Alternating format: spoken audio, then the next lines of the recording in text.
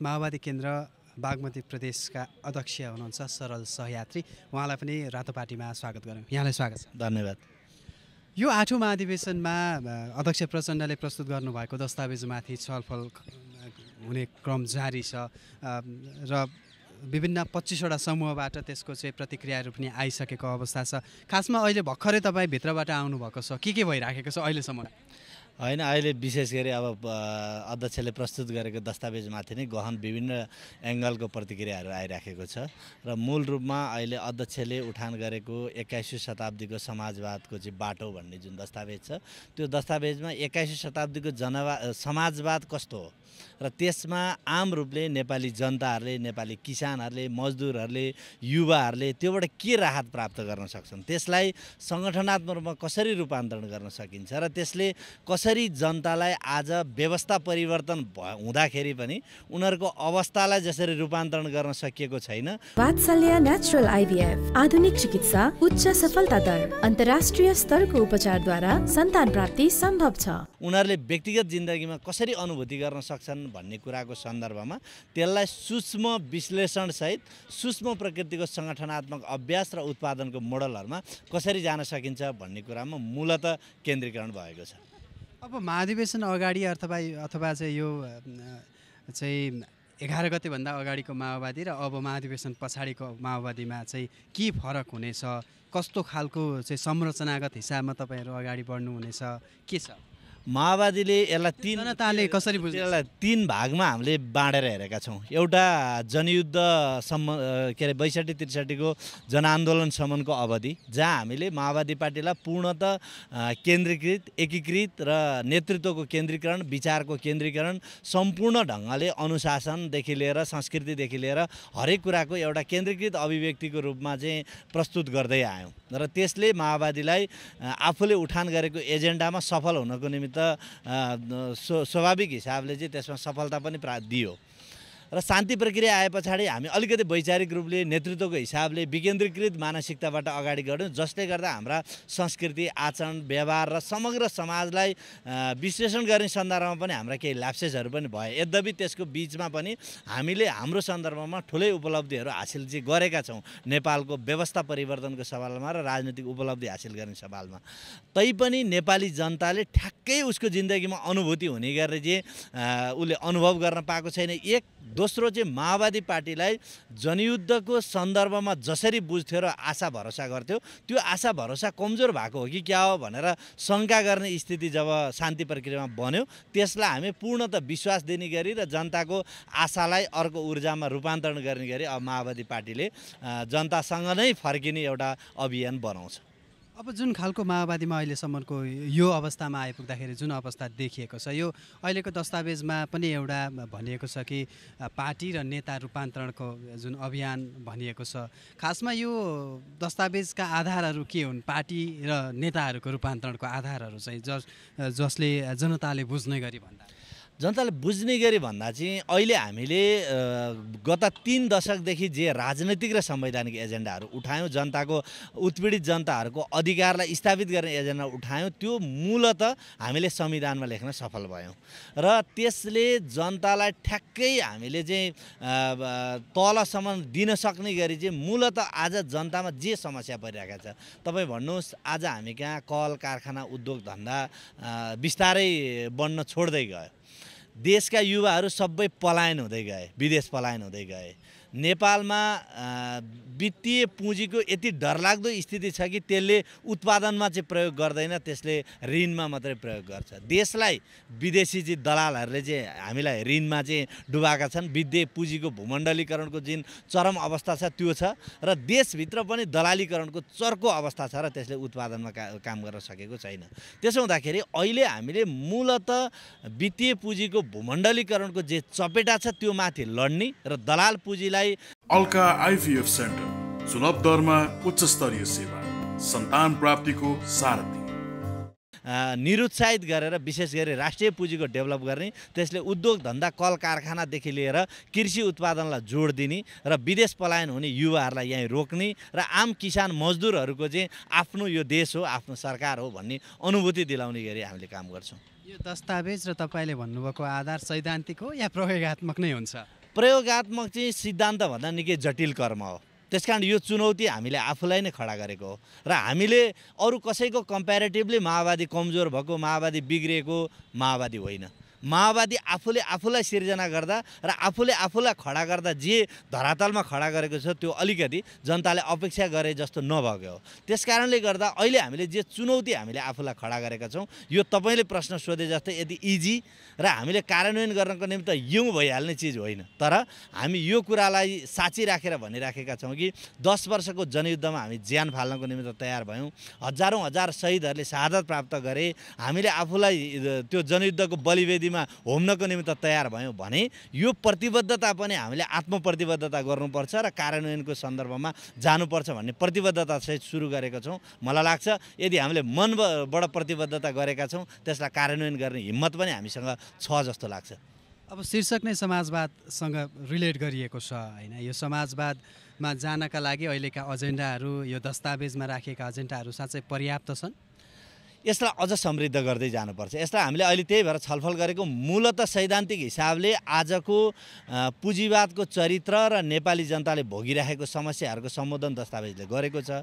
त्यसलाई सूक्ष्म विश्लेषण गरेर त्यसको अर्गनाइजेसन कस्तो हुने त्यसमा उत्पादनका मोडलहरू कस्तो हुने र हामीले कस्ता पुँजीहरूको विरुद्ध चाहिँ हामी अलिकति बढी खरो हुन्छौँ र कस्ता पुँजीहरूलाई हामी सबभन्दा बढी चाहिँ हाम्रा राष्ट्रिय पुँजी हो भनेर हामी विश्लेषण गर्छौँ। त्यस्ता मसिन मसिना कुराहरूलाई चाहिँ हामीले बढी छलफल गर्न पर्ने छ यो समृद्ध हुँदै जान्छ। अब महाधिवेशन पछाडि माओवादी केन्द्र र जनता बिचको सम्बन्ध कस्तो हुन्छ र जनतामाझ माओवादी कसरी जान्छ? होइन माओवादी जनतालाई आज पनि एउटा तलसम्म जाँदाखेरि व्यवस्था परिवर्तन भए पनि एउटा ठुलो सहाराको जरुरी छ। त्यो सहारा जनयुद्धभरि माओवादी थियो। र शान्ति प्रक्रियामा आए पछाडि हाम्रो सहारा होइन कि क्या हो भने जस्तो जनतालाई भएको थियो। हामीले त्यो बेलासम्म जनतालाई आज पनि मानेका छौँ। यद्यपि व्यावहारिक रूपमा हामीले पछिल्लो चरणमा केही ल्याप्सेसहरू गऱ्यौँ। जनतालाई पानी र हामीले आफूलाई माछाको रूपमा चाहिँ परिभाषित गरेका थियौँ। मलाई लाग्छ त्यो रियालिटीमा हामीले जनतालाई पानी र हामी माछा हौँ भन्ने कुराको अनुभूति दिने गरी हामी जनताकोमै हुन्छौँ। जनता बिना हाम्रो अस्तित्व छैन भन्ने कुरालाई हामी पुष्टि गर्ने प्रयत्न गर्छौँ। माओवादीले जहिले पनि भनिराखेको छ कि हामीले व्यवस्था परिवर्तन गऱ्यौँ भनेर। व्यवस्था परिवर्तन भयो संविधानमा लेखियो। तर खास यथार्थमा जुन खालको सशस्त्र जनयुद्धमा भएका घटनाहरू थिए जुन उद्देश्य राखेको थियो र त्यस पछाडि जसरी माओवादी हरेक सरकारसँग चाहिँ संलग्न हुँदै आएको छ खास जनताले चाहिँ अनुभूत गर्ने गरीको परिवर्तन संविधानमा मात्रै भयो कि व्यवहारमा पनि भयो जस्तो लाग्छ र त्यसको समीक्षा कसरी भइराखेको छ महाधिवेशनमा? हामीले ओभरअल्ली समीक्षा गर्दाखेरि कुरा के हो भने हामी अलिअलि आन्दोलनबाट आएको आन्दोलनबाट स्थापित भएको सत्ता पनि हो के अरे सरकार हो। त्यहाँबाट हेर्दाखेरि हामीले के ठान्यौँ भने संविधानमा लेखिदिएपछि मौलिक हक स्थापित गरिदिए पछाडि यो सबै कुरा गरिदिए पछाडि जनताले अधिकार त यसै पाउँछ। भने जस्तो हाम्रो अलिकति माथिल्लो लेभलको सोचले नीतिगत सोचले मात्रै हामीलाई काम गर्यो। त्यो कुरालाई जनताको जिन्दगीसम्म लगेर जोड्ने काम पनि माओवादीकै हो भन्ने कुरा हाम्रो सरकारमा जाँदा अघिल्लो सरकारहरू भोग्दा हाम्रा ल्याप्सेसहरू भएका छन् त्यसलाई पूर्ण ढङ्गले आत्मसमीक्षा गम्भीरतापूर्वक आत्मसमीक्षा गरेर अब हामी त्यसलाई चाहिँ तलसम्म पुर्याउँछौँ। किनभने हामीले नपुर्याएको पनि छैन। नीतिगत रूपमा धेरै कुरा माओवादीकै नेतृत्वमा चाहिँ परिवर्तन भएका छन्। त्यसलाई जनताको स्तरसम्म पुर्याउनुपर्छ। तपाईँले मौलिक हकको मात्रै कुरा गर्नुभयो भने पनि जनताले प्राप्त गर्ने धेरै हकहरू स्थापित गरिएको छ। तर त्यसलाई आजको नेपालको संरचना संस्कृति यसको परम्परा हाम्रो अभ्यास हाम्रो चरित्रहरू जे जे ढङ्गले निर्माण भएका छन् त्यो हिसाबले गर्दा नीति बनाउने बित्तिकै जनताकोमा पुग्दो रहन्छ भन्ने कुराको बोध माओवादी पार्टीलाई राम्रो भएको छ र त्यसलाई जनतासम्म पुर्याउने अभियान चलाउँछ। जसरी महाधिवेशनमा यो चाहिँ आठौँ महाधिवेशनमा जसरी समीक्षा भइराखेको छ पार्टीका हरेक कुराहरूलाई तपाईँहरूले बैसठी त्रिसठी चौसठीदेखि यताको समीक्षा गरिराख्नु भएको छ। पार्टीको शक्ति क्षीण बन्दै गएर यो समीक्षा जरुरत ठानियो अथवा चाहिँ कुन हिसाबले यसलाई लिनुभएको छ? होइन माओवादीले आफूलाई पटक पटक समीक्षा गर्दै आउने पार्टी नै हो। हामीले हाम्रै सन्दर्भमा हाम्रै तुलनामा समीक्षा गर्दैछौँ। अरू पार्टीको तुलनामा कुरा गर्नु भने त माओवादी यत्तिकै बसेर खाए पनि हुन्छ। गफ लाएर हामीले यसो गऱ्यौँ परिवर्तन गऱ्यौँ भनेर।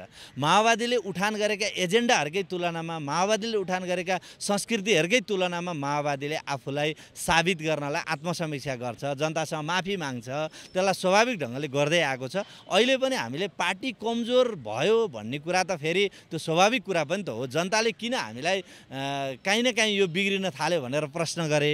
जनताले किन हामीमाथि तिमीहरू हाम्रा भरोसाका थियौ? किन कमजोर जस्ता भयो भनेर प्रश्न गर्न थाले? यो प्रश्नको गम्भीर ढङ्गले समीक्षा गर्नुपर्छ भन्ने बोध हुनु त स्वाभाविक हो कि हामीले भन्यौँ? हाम्रा मूलत स्रोत भनेको उत्पीडित वर्गका जनताहरू नै हुन् र त्यो जनताले गरेका प्रश्नहरूलाई हामीले एकदमै सम्मान गर्छौँ र त्यही आधारमा नै हामीले बढी समीक्षा गरेका हौँ। अब पार्टीमा जुन खालको तपाईँहरूले सैद्धान्तिक हिसाबले अगाडि बढ्ने भन्नुभएको छ पार्टीमा चाहिँ सांस्कृतिक रूपान्तरणको पनि यो दस्तावेजमा छलफल भएको छ। खास सांस्कृतिक सांस्कृतिक रूपान्तरण भनेको के हो र सांस्कृतिक रूपान्तरण कहाँबाट सुरु हुन्छ कोबाट सुरु हुँदैछ? होइन अब सांस्कृतिक रूपान्तरणको मूलत आइडियोलोजीमै छलफल गर्नुपर्छ। मूलत दुई तिनवटा चाहिँ सांस्कृतिक पक्ष मात्रै परिवर्तन गरेर हुँदैन। त्यस कारण अहिले हाम्रो समग्रतामा नेपालको लाई प्रभाव पर्ने नेपालमाथि चाहिँ हस्तक्षेप गर्ने प्रकृतिको चरित्र के हो भने त्यो दलाल पुँजीको चरित्र हो र त्यसले आम दलालीकरण चाहिँ तलसम्म पुर्याएको छ। भन्दा त्यो आइडियोलोजीमै यदि हामी निर्मम भयौँ भने हामी को को तलसम्म पुगेर त्यो दलालीकरणमा हामी सहभागी भएका छौँ? कसले श्रमप्रति अवहेलना गरेका छौँ? कसले जनचरित्र जनतासँग चाहिँ मिल्ने प्रकृतिको चाहिँ जनशैली अप्नाएका छैनौँ भन्ने कुराको चाहिँ समग्रतामा हिसाब किताब हुन्छ। त्यस कारण मूलत आइडियोलोजीमै हामीले छलफल गरे पछाडि त्यसको व्यावहारिक रूपान्तरण कस्तो हुन्छ भन्ने सन्दर्भमा चाहिँ त्यही दलाल पुँजीको चरित्रमाथि हामी मूलत प्रहार गर्छौँ भनेपछि त्यही अनुसारको संस्कृति पनि निर्माण गर्दै जान्छौँ। कोबाट र कहिलेबाट सुरु हुन्छ यो सांस्कृतिक हामी सबैबाट हामी सबैबाट। अध्यक्ष कमरेड प्रचण्डदेखि हामी तल भएका चाहिँ एउटा पार्टी सदस्यसम्मको एउटा आचार संहिता निर्माण गर्छौँ र त्यो आचार संहितालाई दृढतापूर्वक कार्यान्वयन गरेर जान्छौँ। त्यो अध्यक्ष कमरेडले नै प्रतिबद्धता गर्नुभएको छ यो सिङ्गे हलको सामु र हामीले आम जनताको सामु यो प्रतिबद्धता गरेका छौँ। त्यसलाई कार्यान्वयन गरेर सुरु हुन्छ। तर हामीले के ठान्नु हुँदैन भने सामान्यतया यो एउटा चाहिँ कस्तो छ भने कम्युनिस्टलाई देख्ने बित्तिकै चाहिँ एकदम फोहोरी त्यो खान नपाएको जस्तो एकदम लुरे त्यसले फोहोर लुगा लाएर हिँड्नुपर्ने अर्को चाहिँ राम्रो के पनि गर्नै नहुने यस्तो प्रवृत्तिबाट चाहिँ सोच्नु हुँदैन त्यो लम्पट चरित्र हो। गरी खाने काम गर्ने श्रम गर्ने श्रम गरेर चाहिँ अगाडि बढ्ने मान्छेको सम्मान गर्दै र आम उत्पीडनमा परेका व्यक्तिहरूलाई पनि सँगसँगै लिएर समृद्धि निर्माण गर्नुपर्छ भन्ने कुरामा हामीले विशेष ख्याल राख्नुपर्छ। त्यस कारण संस्कृतिको कुरा गर्दा त्यो कुरालाई पनि ख्याल गरिन्छ। तपाईँले जुन खालको पुँजीवादी चरित्र भन्ने जुन एउटा चरित्र। पुँजीवादी चरित्र मात्रै पनि नभन्नुहोस्। दलाल पुँजीवादी चरित्र भनेर माओवादीहरूबाट विशेष गरेर उच्चारण भइरहने शब्दावलीहरू। पछिल्लो समय संसार वृत्तमा र नागरिक वृत्तमा पनि यो एउटा चर्चाको विषय बनेको छ आलोचनाको विषय बनेको छ कि माओवादीकै कतिपय नेताहरू नेताहरूका छोराछोरी लगायत चाहिँ राम्रो राम्रा विद्यालयहरूमा महँगा विद्यालयहरूमा पढ्ने त्यही खालको अ, तपाईँले भने जस्तै व्यावहारिक रूपमा पनि उहाँहरूको रहनसहन लवज सबै कुराहरू होइन त्यो देखिन्छ। यस्ता कुराहरू चाहिँ साँच्चै अब तपाईँले भने जस्तै सैद्धान्तिकमै रहने हुन् अथवा व्यवहारमा लान चाहिँ कतिको सहज छ कतिको सरल छ? तपाईँहरू अब जुन खालको हिसाबले यो युथ हिसाबले पनि अगाडि आउनुभएको छ। के छ?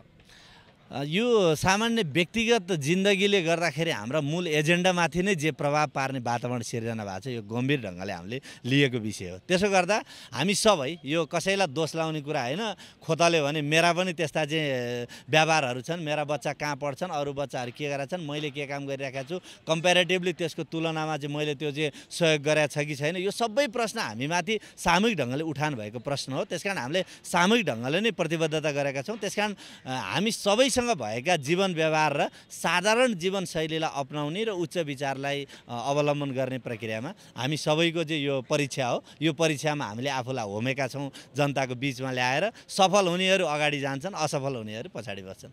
अब नेतृत्व परिवर्तनको कुरा छ होइन। सबै दलहरूका चाहिँ महाधिवेशनहरू भए नेतृत्व परिवर्तनको बहस भयो। माओवादीमा त्यो बहस भइराखेको छ कि छैन? अबको माओवादीको नेतृत्व कसले गर्ने हो? त्यसको चाहिँ समीक्षा तपाईँहरू युथहरूले गरिराख्नु भएको छ कि छैन? अहिले हलको सम्पूर्ण माहौल देख्दा र विचारको हामीले छलफल गरिराख्दा र समाजवादी बाटोमा जानको निमित्त इतिहासका सम्पूर्ण अनुभवहरूलाई समेत केन्द्रीकरण गर्नुपर्ने कारणले गर्दा मूल नेतृत्वको सवालमा हलको मनोविज्ञान अध्यक्ष कमरेड प्रचण्डमै केन्द्रित हुने जस्तो देखिन्छ। त्योभन्दा बाहेकका पदीय जिम्मेदारीहरूमा भए सर्वसहमति प्रक्रिया हाम्रो जनवादी केन्द्रीयताको एउटा पक्ष नै हो। यदि त्यो सर्वसहमत भएन भने लोकतान्त्रिक प्रक्रिया पनि अप्नाउने भन्ने सन्दर्भमा गएकै छ। त्यो सन्दर्भमा अब लोकतान्त्रिक प्रक्रिया पनि अप्नाएर जाने वातावरण बन्न सक्छ र त्यो चाहिँ निर्वाचन प्रक्रियाबाटै जान पनि सक्छ। पार्टी नेतृत्वको विकल्पमा प्रचण्डको विकल्प छ कि छैन? कोही देख्नु भएको छ कि छैन? कोही आउने सम्भावना छ कि छैन? यो पटकको महाधिवेशनमा अध्यक्षको विकल्प आउँदैन अध्यक्ष प्रचण्डको विकल्प आउँदैन। र अर्को महाधिवेशनसम्ममा सायद हाम्रो राजनीतिक परम्परा संस्कार यो हिस्ट्री यो सबै कुराको अनुभव गर्दै जनवादी केन्द्रीयताको मर्मलाई पनि चाहिँ हामीले बोध गर्दै उत्तराधिकारीहरूको चाहिँ पङ्क्ति निर्माण हुन्छ यो महाधिवेशनमा। अब महासचिवको अलि बढी पेचिलो हुँदै गएको छ। कसको महाधिवेशन बन्ने आकाङ्क्षी धेरै छ भन्ने खालको एक खालको सुनिन्छ बाहिर बहस भइराखेको छ। खास भित्र के भइराखेको छ? अनि आकाङ्क्षा गर्नेहरूको चाहिँ दाबी अस्वाभाविक छैन उहाँहरू सबै सम्मानित हुनुहुन्छ। अब मिल्दासम्म त्यो स्वाभाविक हिसाबले चाहिँ एउटा सहमतिमा हुन्छ मिलेन भने बागमती प्रदेशबाट सुरु भएको हाम्रो प्रक्रिया छँदैछ। त्यसलाई स्वाभाविक हिसाबले उहाँहरूले लिनुहुन्छ। हाम्रो केन्द्रीय कमिटीले त्यसलाई निर्वाचन प्रक्रियामा लैजाने हो बहुमत अल्पमत गर्ने हो। दुई सय उनान्सयजनाको केन्द्रीय समितिले बहुमत अल्पमतको आधारमा स्वस्थतापूर्वक त्यसको निर्धारण गर्छ। हस् धन्यवाद। धन्यवाद। Thank